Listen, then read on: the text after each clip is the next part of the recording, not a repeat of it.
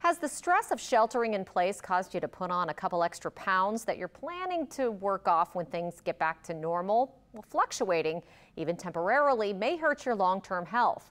Medical reporter Meg Farris has more on a study you can join on tonight's Weight Loss Wednesday. You've probably seen the quarantine memes, memes reminding us that getting out of our exercise routines and working close to our home refrigerators could have weight consequences. And now, a doctor at Pennington Biomedical Research Center in Baton Rouge wants to study the consequences of short term weight fluctuation. There really haven't been a ton of studies looking specifically at functions of of the fat tissue. We know we look and feel differently when we gain and lose weight, but what might be going on inside of our bodies when our weight yo-yos up and down?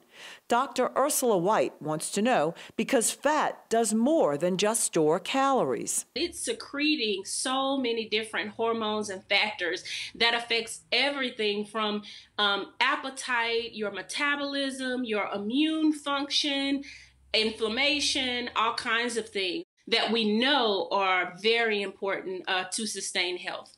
So, Dr. White is hoping you will join what's called the Eat To study.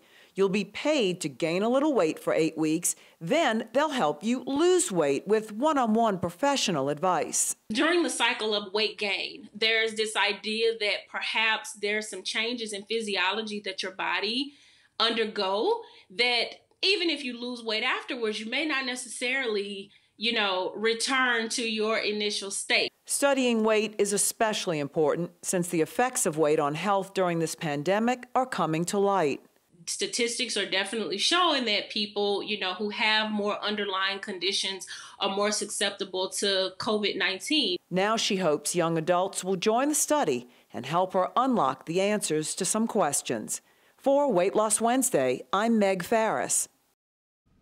People in that study will be compensated around $1,200, and you can find out information on how to apply for it on our website.